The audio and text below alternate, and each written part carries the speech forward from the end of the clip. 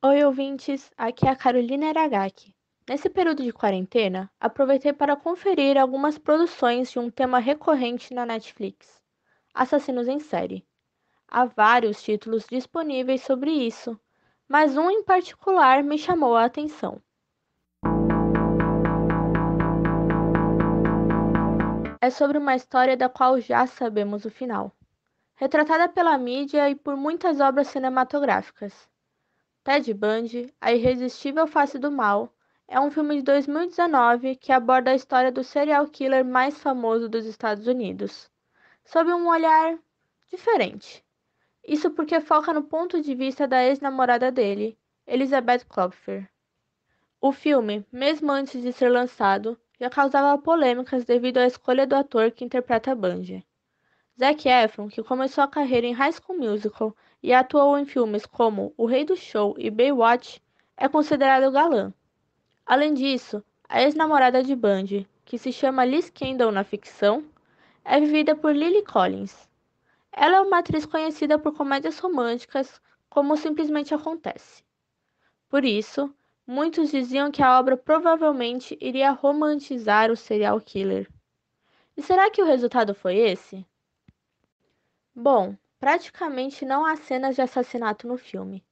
O longa focou mais a parte do irresistível, que atraiu olhares da imprensa e de algumas mulheres, em detrimento de abordar a face do mal com profundidade. Isso porque preferiu destacar os julgamentos, as fugas da prisão e o relacionamento com Liz do que de reconstituir os crimes cometidos. Isso é perigoso, mas é compreensível porque a obra foi baseada num livro escrito justamente pela Elizabeth Klopfer. Assim, a história de Ted Bundy é usada quase como um pano de fundo para trazer a evolução de Liz quanto ao assunto. De acompanhante aos tribunais por acreditar fielmente no amado, como vemos a seguir. When I feel his love, I feel like I'm on top of the world. And when I don't, I feel like I'm nothing. Até a sua emancipação. Did you do these things, Ted? Ao entender a intenção do filme, percebe-se que a atuação de ambos os protagonistas foi muito boa.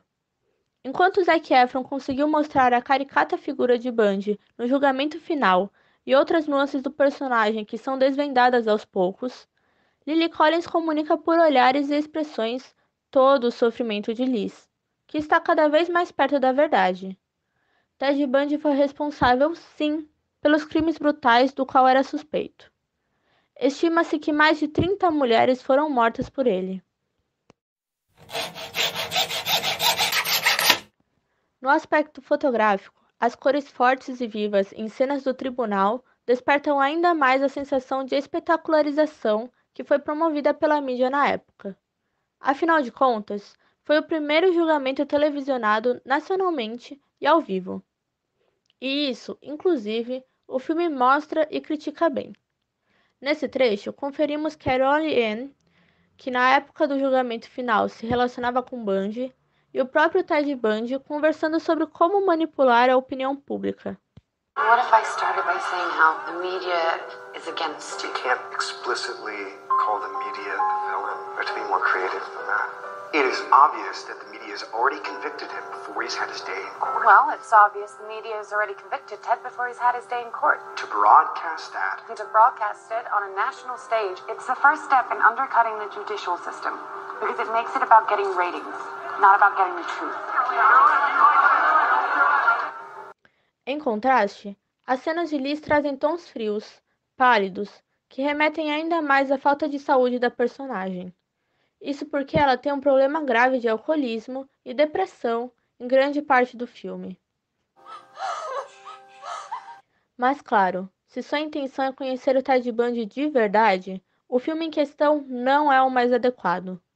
Inclusive, o diretor Joey Berlinger trabalhou em uma segunda obra sobre o mesmo assassino, que se chama Conversando com um Serial Killer, Ted Bundy. Também lançado em 2019, o formato é de série documental, com entrevistas gravadas com dito cujo na prisão e que retrata mais fielmente quem foi Ted Bundy. Em resumo, é tudo uma questão de saber o que você quer. Ver a história sob o ponto de vista de Liz em 110 minutos ou ver a história com menos sutilezas e mais sangue frio por 235 minutos. Os dois estão disponíveis na Netflix, então vale fazer uma maratona se você se interessar pelo assunto. Vou ficando por aqui, e quem quiser comentar sobre o filme ou a série pode mandar e-mail para carolaragac.usp.br. É isso, pessoal. Até a próxima. Tchau, tchau. Resenha e edição de som por Carolina Aragaki. Vinheta e efeitos sonoros por BBC Sound Effects e YouTube Library, além de trechos do filme Ted Bundy, A Irresistível Face do Mal.